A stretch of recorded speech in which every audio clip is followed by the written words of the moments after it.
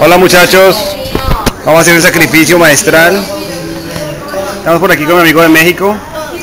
Está hablando con la chavita, con la chaparrita. Vamos a comer, estamos en Curazao. Estamos aquí en un barcito. Estamos mostrando el bar. El clima está bueno, temperatura de 23 grados creo.